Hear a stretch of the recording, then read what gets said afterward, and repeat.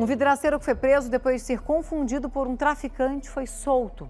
Jailson foi preso na segunda-feira na presença dos pais e do filho de seis anos em Leopoldo de Bulhões.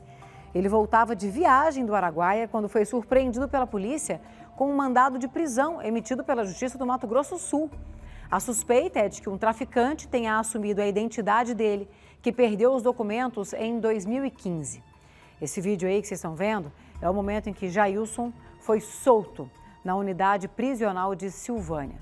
Ele deixou a prisão ontem à noite. A gente percebe na né, emoção dos parentes, dos amigos ali que estavam acompanhando a soltura do Jailson, que tinha sido preso, preso injustamente. Com certeza vai acionar a justiça contra o Estado, né? Imagina só a vergonha que a pessoa não carrega, o trauma, né? É, é, a, a, acontecer isso ainda mais na frente dos pais, na frente dos filhos também. E sem contar, né, que principalmente se é numa cidade pequena, a conversa ocorre muito rápido e aí rapidamente as pessoas já começam a olhar torto para ele, para a família, até que tudo seja esclarecido novamente, fica ainda aquele resquício, né?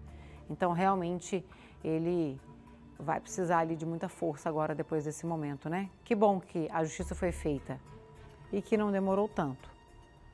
Apesar de que qualquer minuto preso injustamente deve parecer uma eternidade, né, gente?